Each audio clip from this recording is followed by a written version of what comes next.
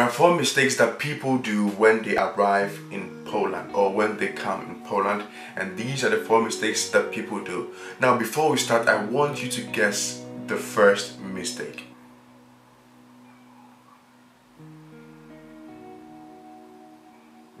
The first mistake is your money. Yes, your money. Don't worry, nobody's gonna steal your money. Nobody's gonna, you know, harass you or take your money. But this is the mistake that people I mean people do when they come to Poland.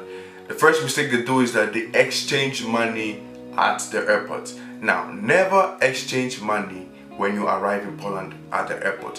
Why? Because the airport rates are very high.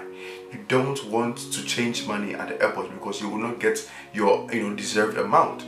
Meanwhile, there are branches in Poland when you come to Poland you can exchange your money in many branches. The second mistake that people do when they arrive in Poland are yes, these guys.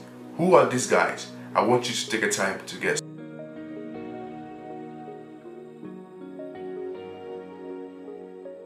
These guys are ticket checkers.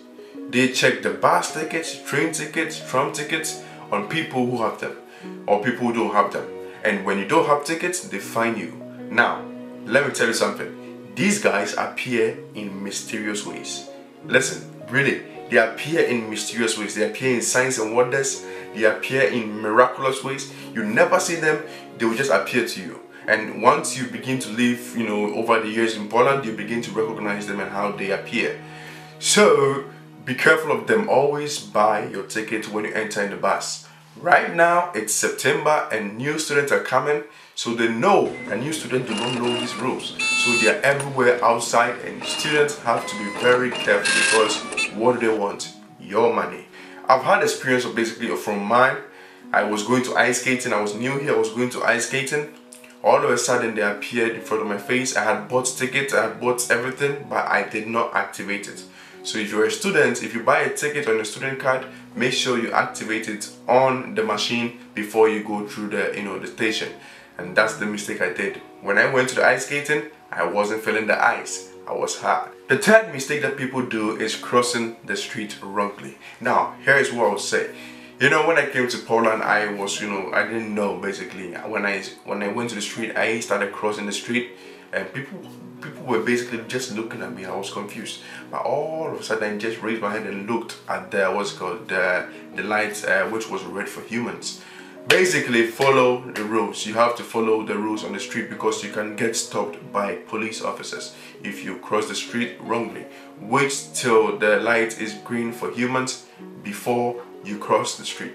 The fourth mistakes that people do sometimes which everybody has done i have done it many people surely did it is document in karta pobytu you know you gotta you gotta be serious about this thing. As a student probably international student when you come here you probably have either four month visa or one year visa. And this visa you gotta be serious about it and the time limit because you have to start your karta pobytu once you arrive probably after four months or five months so that you can have you know the validity of the visa to continue to do it so you gotta be serious about your karta pobytu when you come here it is very important. It's for your residence stay. And when you get that resident permit, resident card, you can travel with it around Europe without your passport. And that will help you. Anyways, if you enjoyed this video, don't forget to subscribe. Don't forget to like. We do what we do. We say what we say.